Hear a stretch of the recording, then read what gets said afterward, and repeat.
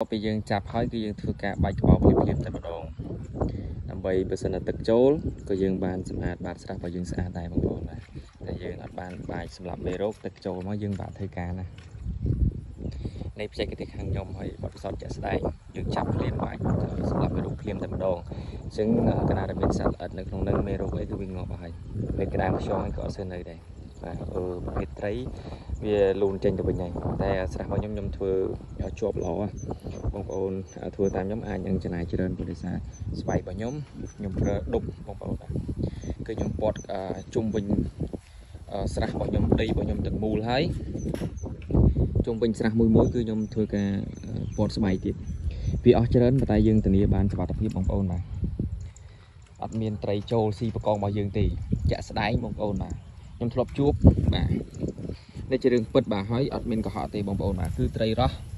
គឺវាចូលចូលស្បៃទី1ចូលរួចបាទតែស្បៃទី2ចូលរួចទេចូលមកងាប់មក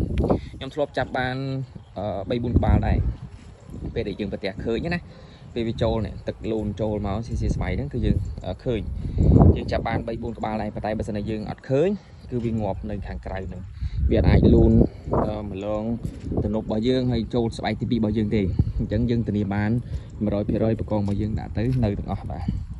ចូលប្រភេទក្តាមខ្យងនេះនឹងជាបំផុតទេវាពេលខ្លះអាចមកតាមសរាយតាមចកតាមកផ្លោកដែលខ្ញុំដាក់តែបើប្រភេទទាំងអស់ហ្នឹងវាអត់ស៊ីប្រកងទេគ្រាន់តែវាស៊ីចំណីរបស់ប្រកងរបស់យើងទេតែបើប្រភេទត្រីរ៉ស់អានឹងដាច់ខាតណាបងប្អូនបាទកុំឲ្យចូលចូលមកគឺនៅខាងក្រៅនឹងអត់មានអត់មានចូលមកក្នុងស្រះរបស់យើងរួចទេ អញ្ចឹងបងប្អូនឲ្យឆ្ងល់ពាក់ព័ន្ធមួយបច្ចេកទេសការចិញ្ចឹមបាទចិញ្ចឹមមិនឲ្យបានផល100%អាចឆាតចូល page ឬក៏ Telegram មកខ្ញុំបានបាទអរគុណ